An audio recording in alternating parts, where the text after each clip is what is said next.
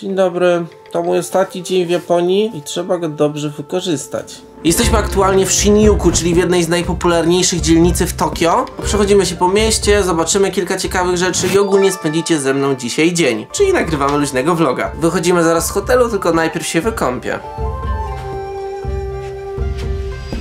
Tak, mam na sobie coś takiego, co wygląda jak sukienka. Każdy hotel daje tu piżamy i tu było coś takiego. I chyba jest męskie, bo jest duże, nie? Nieważne, idę się kąpać.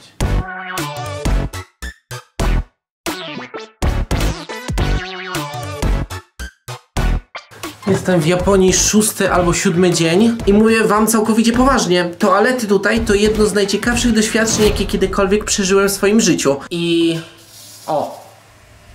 Zaczął chodzić. To, co teraz się włączyło, likwiduje wszystkie zapachy. Dodatkowo, dosłownie w każdym miejscu deska jest podgrzewana. No i mamy ten panel, w którym po załatwieniu się możesz się umyć po prostu. W momencie, gdy się załatwisz, to włączasz sobie wodę. Leci w tym momencie cieplutka woda, która mnie myje. Możesz sobie zmienić ciśnienie tej wody i dzięki temu zawsze czujesz się czysty. Czekajcie, może to wyłączę, jak z wami rozmawiam, bo to tak dziwnie. Ja osobiście w domu lubię się najbardziej załatwić właśnie przed pójściem do kąpieli, no bo wtedy człowiek się czuje lepiej, nie? Ale mimo wszystko zawsze myślałem, że jakieś bidety i rzeczy tego typu to jest po prostu tandeta i badziew. A dzięki temu, że tutaj tego doświadczyłem, no bo wszędzie to jest, to wczoraj wieczorem zamówiłem deskę myjącą do domu. Poważnie, to jest tak super rzecz. I w ogóle ten kibelek akurat w tym hotelu jest mało zaawansowany. Są jeszcze takie, w których możesz sobie włączyć muzyczkę, regulować ten strumień w różne strony i tak dalej, i tak dalej. No, także to musiałem wam koniecznie powiedzieć. Będę miał gadżet w domu w postaci deski myjącej. A jeszcze dobra funkcja na noc, bo na pewno niejednokrotnie się zdarzyło tak, że przyszliście w domu na przykład rano do toalety, a ktoś w nocy był i nie spuścił wody po siusiu na przykład i to nie fajnie wygląda. A tutaj, jak wstaniesz z deski, w sensie z kibelka, to on się automatycznie spuszcza. Dobra, idę brać prysznic, bo się zaraz kończy doba hotelowa. No dobra, czyściutki, piękny, wykąpany, możemy lecieć. Przekręty plecak. Mam tak dosyć tego plecaka. Ała! I tych ciasnych hoteli czasami też. Jest widzę 5 minut po dobie hotelowej. To chyba po to. Hello? Zasubskrybuj kanał Jawor.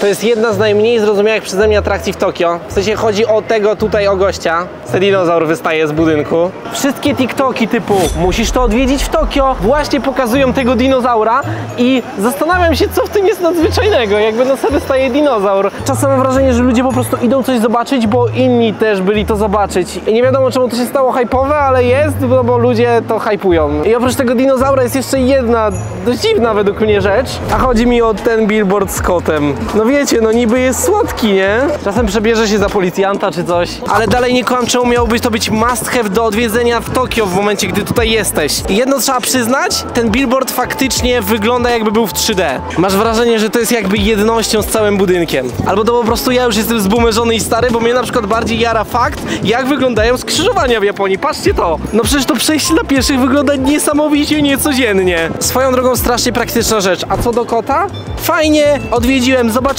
ale gdyby nie fakt, że mój hotel był 100 metrów stąd, to bym raczej tu nie przyszedł. Dobra, chodźmy dalej.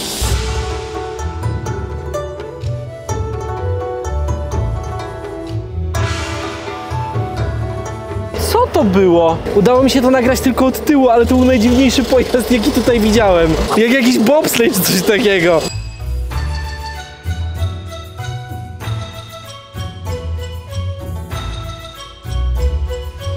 A o takich miejscach już rzadko kiedy mówią na TikToku, a to jest właśnie mój klimat. Piękny park, łon natury, w tle duże budynki. Kocham to w niektórych dużych miastach, że w centrum macie wielki park. Tak jest na przykład w Nowym Jorku, tam mamy Central Park i tak właśnie też jest tutaj w Tokio, mamy Yoyogi Park. W tym parku podobno też jest dużo pięknych rzeczy, typu jakieś budynki japońskie, takie tradycyjne i tak dalej. Także ja teraz idę się przejść, a wam na ekran wlatują właśnie przebitki z tego wszystkiego.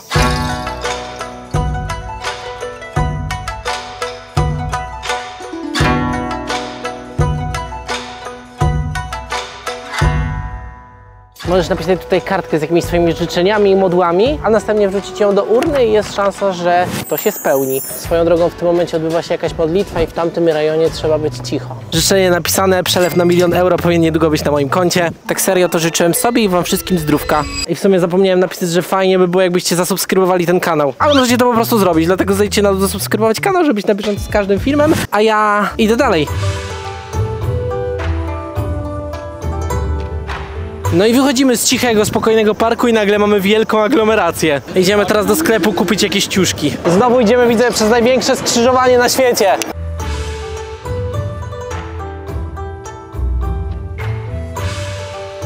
No sporo ludzi jest w tej Japonii, to trzeba przyznać. 35 milionów mieszkańców.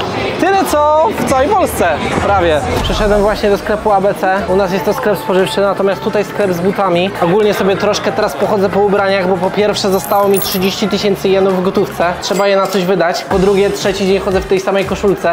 Prałem ją sobie co prawda w zlewie, mydełkiem, ale mimo wszystko no, to nie jest to samo co w normalnej pralce. No i po trzecie, tutaj ciuchy są dużo taniej. Byłem w jednym sklepie i spojrzałem sobie na Danki Lowy i kosztowały w przeliczeniu 380 zł, a były w kolorystyce, której raczej w Polsce nie ma. Także chciałem sobie kupić jedną parę butów, no i jakieś koszulki z dwie, trzy, bo ja w ogóle po Japonii lecę do jeszcze jednego kraju nagrać wam jeszcze jeden ciekawy film, ale to zobaczycie no w następnym filmie, także wiecie co robić, nie? Żeby być na bieżąco. Okazało się, że ten ABC to był outlet i nie było nic specjalnego, dlatego przyszedłem teraz do Atmos i tu na wejściu już mamy naprawdę ciekawe buciki. I dla przykładu takie forsy, które ostatnio w Polsce kupiłem za 6 stówek, tutaj kosztują 430 zł, także faktycznie różnica jest spora.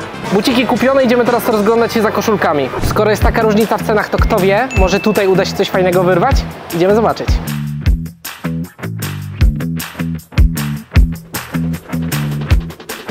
No i teraz mamy pełne zakupki zrobione. 200 zł za koszulkę i 680 zł za bluzę. Mega spoko ceny. Tylko w takim Supremie na przykład nie można przymierzyć tych ciuchów i kupiłem rozmiary na ślepo. Zazwyczaj noszę Elki, ja kupiłem M-kę, bo Elki wydawały mi się dziwnie duże. Się okaże zaraz w hotelu, czy są mi git.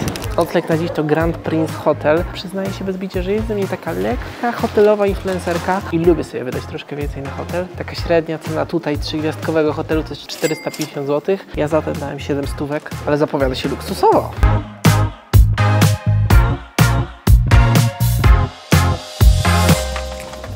O kurde, jaki wielki pokój. To wcale nie tak, że już tu byłem i go widziałem, żeby postawić kamerę. Nie, na serio, ładny pokój.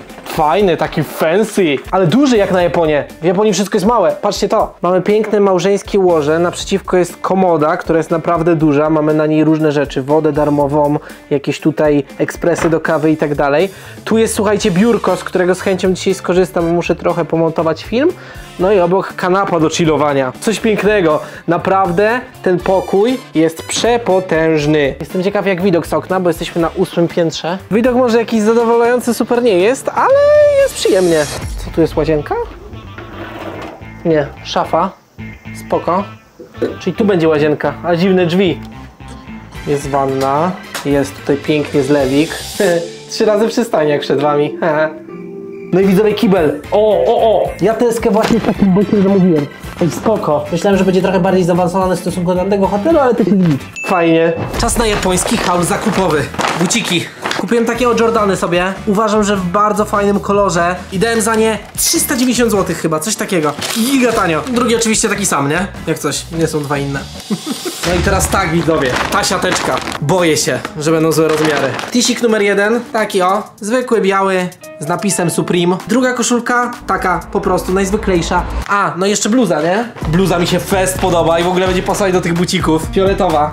Taka o, piękna, ładna. Patrzcie jak to siedzi razem. Idealny komplecik. Idę się wykąpać i przymierzymy naszego Tisa. Się okaże, czy jest dobry, czy no będę musiał go sprzedać. No, także ja idę. Tu, o, zaraz wracam.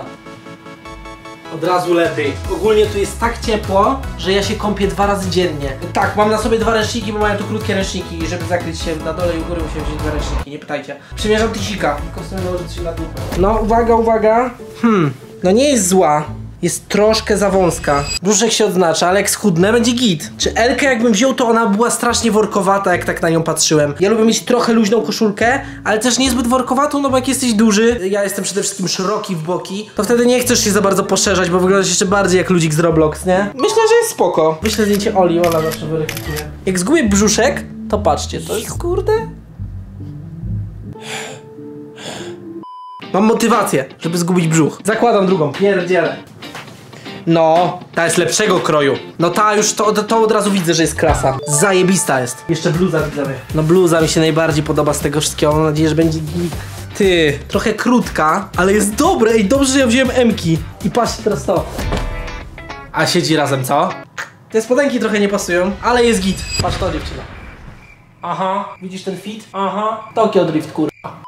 Zatwierdzone przez Ole, także ciuszki możemy zostawić. Dobra widzowie, jest już po 17, wypadałoby coś zjeść. Jedziemy do fajnej restauracji.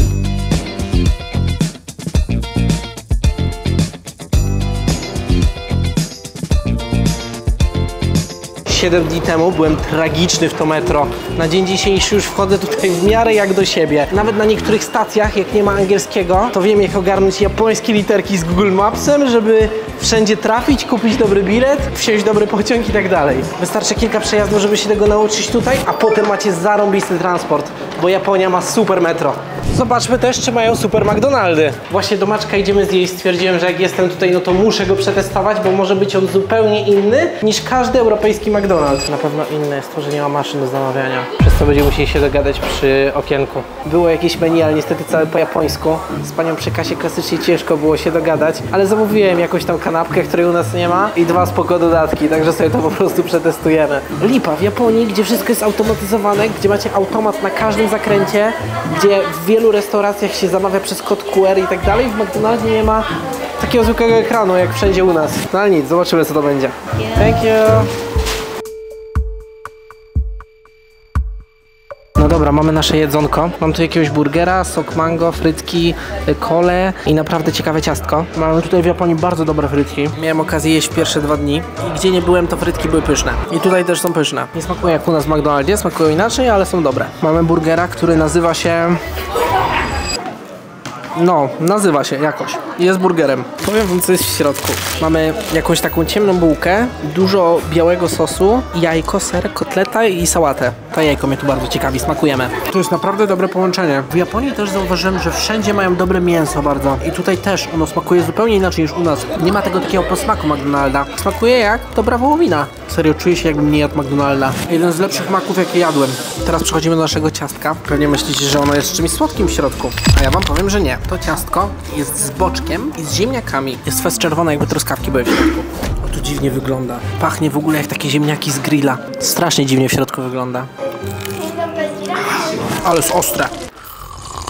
Ej, ale dziwne. Na początku czułem się jakbym jadł jakiś syrop z ziemniaków. Po chwili mi zasmakowało, po chwili mnie przeostrzyło. Finalnie mi nie smakuje. O, ale ostre.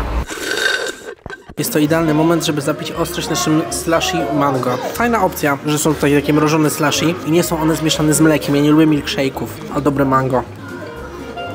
Zamroziło mi łeb. Pyszne. Wziąłem jeszcze cheeseburgera na drogę, żeby sprawdzić, jak smakuje identyczny burger jak u nas. No my też mamy cheeseburgera w ofercie, nie? Swoją drogą coś, co kocham w Japonii. Zrobiło się już ciemno, a patrzcie to. Tu jest wszędzie dookoła dalej jasno. A i tak jesteśmy w mniejszej dzielnicy. Jest tutaj zdecydowanie ciemniej niż w tych takich główniejszych dzielnicach, nie? Tam to idziesz i nie wiesz, czy to świeci słońce, czy to świecą billboardy. Dobra, szybki check cheeseburgera. To smakuje identycznie jak burgery w świeżo otwartym McDonaldzie. Byliśmy kiedyś z w McDonaldzie jeden dzień po otwarciu. To jedzenie było takie inne, bo nie były jeszcze te przepalone patelnie, ta frytura nie była już taka, wiecie, zajechana i to wszystko było takie znacznie bardziej fresh. I tutaj też to jest. Bardzo dobry McDonald's. Dobra, my tak gadamy, mamy 20 minut, żeby dotrzeć do kolejnego miejsca. Bo mam rezerwację za 20 minut. Teraz za mną jest dworzec, a w tym momencie za nami znajduje się kawiarnia, w której chodzą sobie świnki. Na poprzednim vlogu z Japonii byliśmy w kawiarni, w której były kapibary i znalazłem, że takie miejsce ze świnkami i stwierdziłem, że muszę tutaj iść.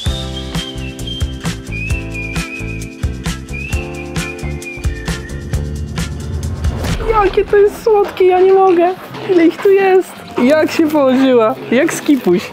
Ona się próbuje położyć, patrz.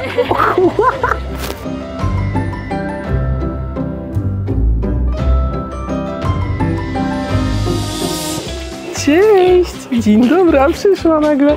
Śmieszne jest to, jak one się na siebie rzucają normalnie. I się wkurzają na siebie. Ale one śmiesznie hałasują w ogóle. Słuchajcie ich. Tam się jeden zesrał. A się cieszy, że nasrał pani.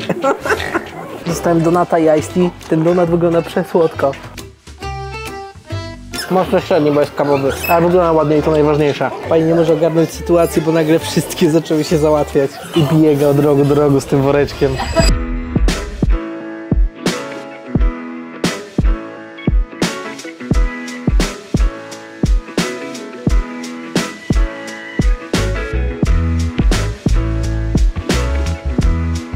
Ten tutaj normalnie podkładał dźwięki pod Piglina w Minecraft, nie? Posłuchajcie go.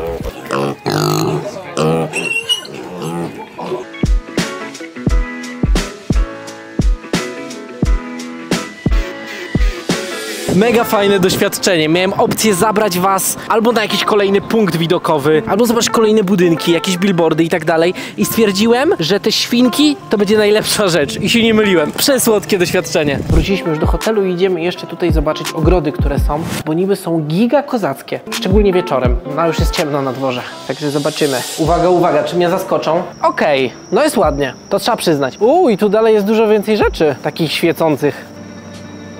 Pięknie tu jest, mega klimatycznie, mega romantycznie nawet bym powiedział. To jest jedna z tych rzeczy, których kamera niestety nie oddaje. Postaram wam się w tym momencie zrobić jak najładniejsze przebitki tego wszystkiego.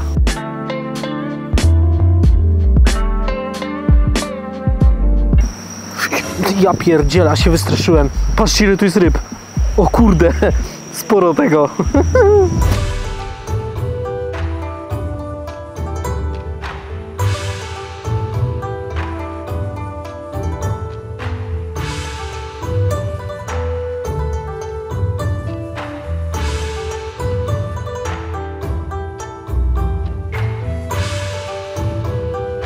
Trzeba przyznać, że ten ogród zrobił fest wrażenie. Nie spodziewałem się tego. You can go, you can go. Yeah, okej, thank you. No, Państwo czekają, żeby przejść. Ja też nie mogę się doczekać, żeby iść spać. Także przenieśmy się do łóżka. Powiem Wam tak, Japonia nigdy nie była moim celem. Gdyby nie ciekawy content, który zauważyłem, że można tutaj zrobić, związany z hotelami kapsułowymi, związany z automatami, to najprawdopodobniej nigdy bym tutaj nie przyjechał. Przynajmniej nigdy celowo. A dzięki temu, że tu przyjechałem, to Japonia, która była prawie na samym końcu listy krajów, które kiedykolwiek odwiedzę, skoczyła nagle na top 3. Jest dla mnie trzecim top krajem, który chcę zwiedzić z duszy wszerz. Na 100% jeszcze tu wrócę, żeby zwiedzić Kyoto, żeby zwiedzić Osakę, żeby zwiedzić egzotyczną Japonię, żeby trochę po niej pojeździć. Niesamowici ludzie, niesamowite miejsca, piękne doświadczenia. Cieszę się, że tu byłem i cieszę się, że mogliście być razem ze mną. Dajcie znać w komentarzu, czy taki luźny vlog jak dzisiaj wam się podobał. Jest 22. Ja zmykam jeszcze chwilę popracować i idę spać, bo muszę o trzeciej w nocy wstać, żeby dolecieć do kolejnego kraju, z którego będzie następny film. Także subskrybujcie. Mówił dzisiaj do was Jawor. Pokazywała wam wszystko kamera Sony. Daj znać w komentarzu, czy chciałbyś w Japonii szukać żony. Yo. Yo. Kto tak mówi? To papa.